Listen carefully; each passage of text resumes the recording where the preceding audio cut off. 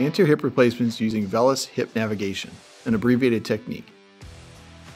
The first thing to every successful hip replacement is preoperative templating and assessing for a patient's leg length inequality prior to surgery. The setup, the patient is on an orthopedic HANA table. The C-arm is brought in on the opposite side of the surgeon. Surgery begins.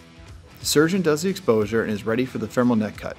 The C-arm is brought into position 10 degrees over and with the leg internally rotated 10 degrees. This is done to maximize the patient's femoral offset. I then mark my planned neck cut with a Bovie tip. I will then compare this to my templated neck cut. Then, the image is fine-tuned to obtain a perfect image of the proximal femur with the head centered on the image to prevent parallax. This image must include the pubic symphysis and the greater trochanter. This image will later be used for the one trial analysis. At this point, the representative will mark the relevant points on the JointPoint monitor while the surgery continues. First, they mark the greater trochanter. Then, a circle is drawn around the femoral head. You then align the femoral axis tool in the canal. Next, you mark the pelvic reference line. And lastly, you mark the teardrop. After reaming and the acetabular cup has been selected, I place the cup into the acetabulum with the KINCISE attached. I put the cup into what I think is the appropriate anteversion and inclination angles. A level pelvis is then obtained. The C-arm is brought back to a neutral position to obtain this image. I then verify that the pelvis is neutral by ensuring that the pubic symphysis is aligned with the coccyx. This image is then used as the neutral reference point for placement of the cup. I then bring the C-arm with the same position over top of the center of the acetabulum. I analyze the cup position using the software, and the cup is inserted with your desired anteversion and inclination angles. Impact the cup into its final position and remove the impactor handle. Analyze the final position. The final liner can then be impacted using the KINCISE impactor. The surgery continues and the femur is exposed. The proximal femoral releases are performed and the femur is broached using the KINCISE impactor. The trial stem is then reduced with the trial neck, standard or high, with the templated head.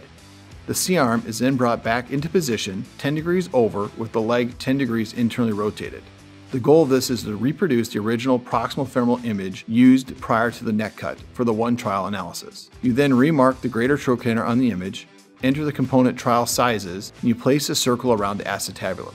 Mark the shoulder, mark the pelvic reference line, mark the teardrop, rotate the template to match the cup, align the femoral template to the canal, align the femurs, then confirm using an overlay. Then verify point registration with the surgeon. The one trial analysis gives the surgeon the option of leg length and offset based upon implant modularity relative to the patient's anatomy.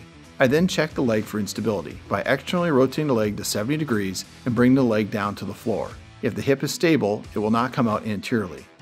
The final implant can then be impacted and the final reduction is performed.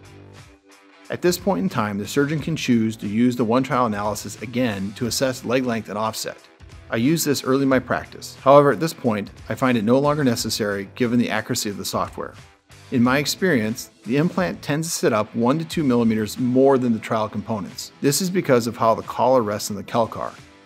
I therefore anticipate this addition when analyzing the data with the one trial analysis. With the final construct, as predicted, the patient's leg length was 5 millimeters long, plus 1 millimeters of femoral offset and minus 1 millimeter of total offset. This reproduced the desired anatomy as planned prior to surgery. After surgery, final x-rays are taken, demonstrating the accuracy of the software. The use of VELYS hip navigation has made the surgery more accurate and has shortened my surgical workflow.